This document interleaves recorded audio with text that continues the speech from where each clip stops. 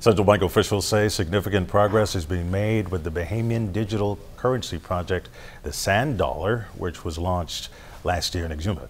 Central Bank Governor John Rolle says efforts are underway to complete the integration of the infrastructure with the rest of the banking system. There's also focus on addressing the assessment of the security of the, the infrastructure in terms of the resilience of the infrastructure against cyber attacks and other mishaps.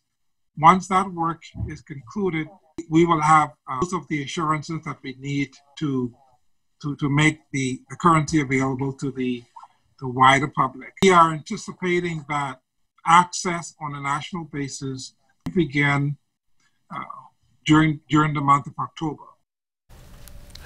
Governor Rolle says there haven't been any challenges with the rollout of the digital payments. At present, between the money transmission businesses and the entities that are, being licensed under the Payment System Act, we have potentially I think, nine entities that can provide digital payment services in various formats. And they are at various stages of engagement with the central bank in participating in the, the digital currency rollout.